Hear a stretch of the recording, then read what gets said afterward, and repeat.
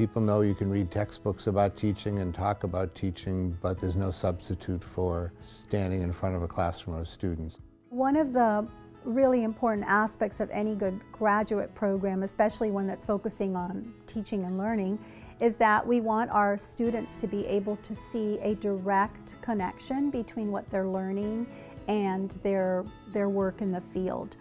All of the classes prepare me really well for the practicum. It's a second semester where you actually take over half of the classes and teach and it was really fun to see how you can shape students' minds with everything you were taught.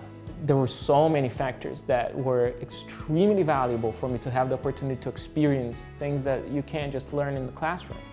Having that year-long practicum is super important because you get to build relationships and I think that at the forefront of anyone's teaching practice should be building relationships with students.